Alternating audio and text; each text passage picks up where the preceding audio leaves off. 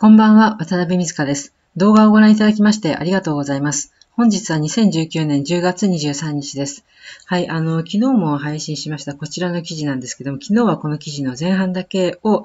あの、シェアさせていただきました。で、後半は昨日本当は訳し終わっていたんですけども、ちょっと私はあの、複雑な心境になってしまいましてですね、あの、これはチャールズさんがイーサリアム時代からの、あの、心情、これまでの心情をね、語ったものなんですけども、ちょっと後半はね、ぐっとくるものがありまして、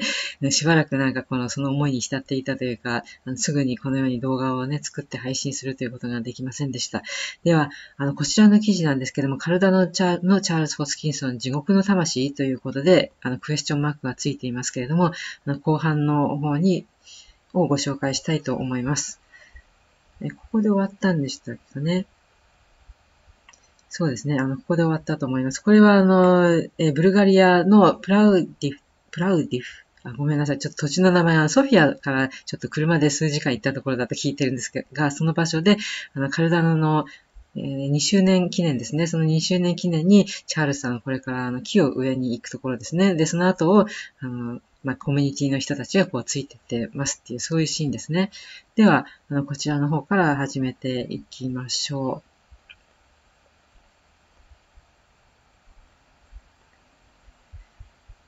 う。えっ、ー、と、後半。で、こちらは10月19日付の記事になっています。で、後半に行きましょ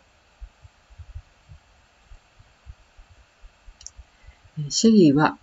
ですね。シェリーは一式のリリース製品として企画され、カルダノに対して分散化を増大させながら完成させるよう設計されている。最終的にはネットワークは他のブロックチェーンネットワークの250倍になり、ひとたび発動されればビットコインのように実行されるとホスキンソン氏は言う。つまりカルダノは永遠に検閲も介入もされず、実行され続ける設計になっているということだ。チェリーの最先端の技術がヒドラと呼ばれる次世代のプロトコルに眠っている。もうヒドラっていうのがね、ちょっと私の表現が拙いんですけど、とにかくすごいものらしいですね。あの技術が分かってる方がたまにツイッターでつぶやいてるんですけど、このヒドラっていうのはすごいんだって言って、すごくなんか楽しみにこの論文が仕上がってね、実装されるのを楽しみにしていらっしゃる方がいます。はい。で、それを開発すれば完成へと近づき、コンセンサスアルゴリズムの多数のバージョンが確実に並行しながら実行され、そうなればパフォーマンスが何倍も向上するのだとカルダノのシニアプロダクトマネージャー、デイビッド・エサー氏はデクリプトに語ってくれた。と、このように言ってますね。はい。来年早々にシェリーのメインネットがテス、えリリースされてほどなく、いや、その前もあり得るが、カルダノは分散型アプリケーションを有効にするスマートコントラクトを付加することを計画しており、これがゴーゲンと呼ばれる開発フェーズにあたる。もうね、シェリーが実装されればもうすぐさまゴーゲンというそういった感じですね。4番目のフェーズは場所でスケーラビリティを劇的に増大させ、相互運用性と秒あたり1万トランザクションを超える機能を有効にすることを目指している。ちなみにイーサリアムは秒あたり15トランザクションである。で、この数字だけでもね、かなり速くなることがわかりますね。最終フェーズのボルテールは、チェーン上のガバナンスのために設けられたもので、2020年末までの完成が期待されている。亀とウサギ、カルダノは EOS やトロンのような他のブロックチェーンプラットフォームの開発スピードに追いつこうと必死な亀になぞらえられることが多かった。しかし開発は今現在、スケジュール通りに進んでいると、ホスキンソン氏は言った。テストネット報酬は来年ローンチされればメインネットへの移行が可能で、暗号通貨の評価企業ワイスレーティング社によれば、近々カルダの枝コインを購入しホールドする確かな理由になっているということだ。あの、ワイスレーティング社はね、本当にカルダノのことをよく追っかけてくださっています。その下コメントがありますね。えカルダノはしっかりとしたプルーフオブステークのブロックチェーンベースの台帳を構成するあらゆる要素のクオリティが高く、我々は常に感心させられる。とワイスレーティング社の解析チームを率いるワン・ヴィラ・ヴェルデ氏は、えー、デクリプトにそう語った。ワイスレーティング社の審査では、カルダノのチームの力量とリサーチの厳格さが精査された。実に、カルダのプロトコルの学術リサーチの本体、ウロボロスヒドラは、現在、ほぼ完成している。ウロボロスヒドラはクライマックスであり、すべきことは全部終わっているとホスキンソン氏は言ったということですね。このヒドラヒドラっていうのがね、どういうものなのかちょっと、今のところまだ目には見えてこないですが、楽しみですね。はい。で次になんか写真があるということで、あ、これですね。これイチョウの木を植えているところです。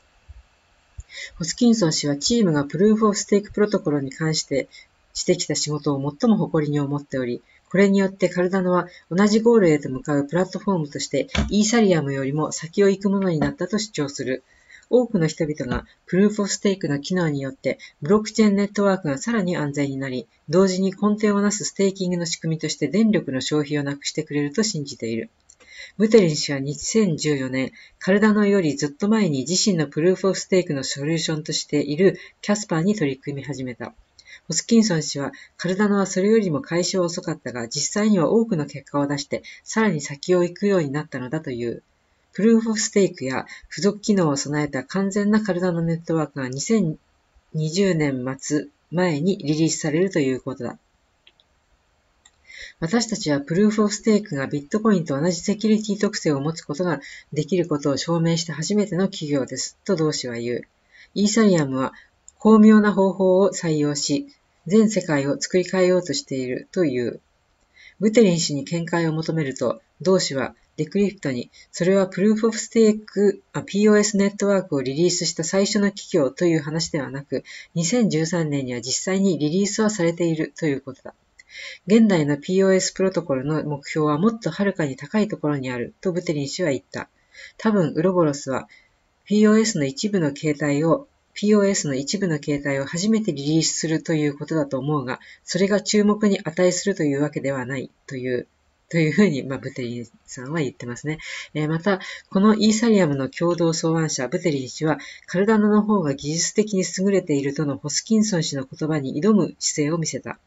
私が最初にウロボロスを見たとき思った、最後にですね、私が最後にウロボロスを見たときに思ったのは、キャスパーが達成しようと懸命にやってきたことを達成しようとすらしていないということです。それは、法目的性とか確認の法則化などです。ということですね。この2点に関してちょっと今一つウロボロスはやってないんじゃないのっていうことをホスキンソン、ごめんなさい、えー、ルテリン氏は言っていたということですね。とにかく複雑。ホスキンソン氏が去って5年、イーサリアムとの関係は未だ複雑にこじれている。ホスキンソン氏は機会さえあれば、体の開発の厳格で入念な足取りをイーサリアムと対比させ、イーサリアムはブテリン氏をめぐる個人崇拝に乗っ取られてしまっていると思っているようだ。一般論として私はそれをしないことに競争力を保てる理由がある場合は、例えばイーサリアムやイオスと良い関係にはなりません、と同氏は認める。ということですね。えー、まあ、あの、競争、まあ、つまり競合というか競争してるわけですよね。で、その競争力を我々が保てる理由があるんだそれをしない方が、まあ、競争力を保てるっていうんだったら、それは、まあ、あの、立場的にもイーサリアムや、えイオスと、こう、仲良くするわけじゃないよっていうか、仲良くならないよっていう、まあ、そういうことを言っているわけですね。で、そこは、あの、えー、ホスキンソン氏はもう認めているということです。しかし、イーサリアムを酷評したいのしたいのは山々なれど、ホスキンソン氏としては自身の初期の頃の人との関わり合いを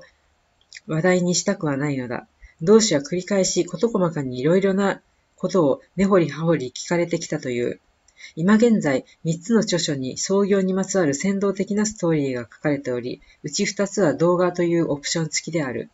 スキンソン氏によれば、そのような積年の恨みの多くは実際、イーサリアムのザ・ダオのハッキングによってハードフォークが起きたことにより、生まれたイーサリアムクラシックを擁護していることが原因だという、ということです。えイーサリアム上で起きた DAO のハッキングによって、あの、まあ、ハードフォークが起きて、その結果生まれたイーサリアムクラシックの方を今、IOHK が、開発してますよね。まあ、それを擁護していることが原因だという。イーサリアムエコシステムでは多くの人々が私を嫌い、私のことをモンスターと言います。私がそこに関わっている唯一の理由が、イーサリアムに害を与えたかったからだと。そして、私が DAO のハッカーだと言ったのです。と、まあ、こともあろうに、そんなことを言われてしまったというわけです。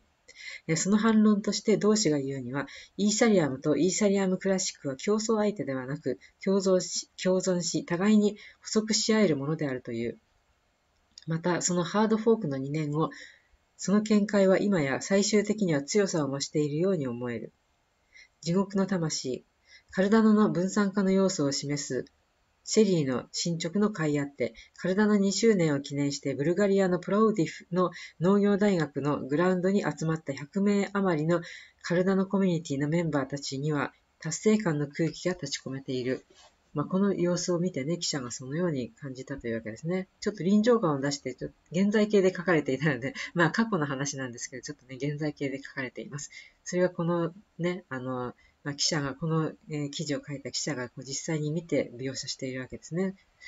えー、ホスキンソン氏はカルダノの記念 T シャツを着て、しかも、あ、ごめんなさい。えー、カルダノの T シャツを着てですね、カルダノの記念 T シャツを着て、いつものカウボーイブーツを履き、膝をついてイチョウの木を植えている。カルダノからコミュニティの天神と呼ばれるラスプーチンのような風貌のバジル・セント・ダビ、えー、デイボさんですね。カルダノアンバサダーさんが、えー、ホスキンソン氏を手伝っているということで、そういう、まあ、あの、ラスプーチンのような風貌の、まあ、この方ですね。あの、この方はカルダノのアンバサダーとして大変献身的な方で、チャールズさんもすごく感謝してるんですね。この方をこう尊敬して感謝して、まあ、そういったことをこうツイートしていたのを私も見たことがあります。すごく献身的な、あの素晴らしいアンバサダーというふうに、えー、チャールズさんはおっしゃってました。で、あの、こうやってチャールズさんをこの、まあ、お手伝いして、イチョウの木を植えているということです。でそこでですね、チャールズさんが、え全人木を植えて、後人量を得、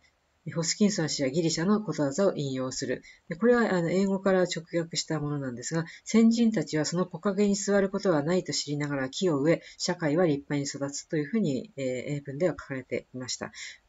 ということで、まあ、あのこれは例えであって、先人たちというのは私たちの先祖たちですよね。で、今、まあ、将来の人から見たら今の私たちが先祖なわけなんですけれども、あの、先人っていうのは自分が恩恵を受けるっていうことを知らなく、あ恩恵を受けることはないということを知りつつも、その、まあ、後人たちのためにこう役に立つことを今やっているということですね。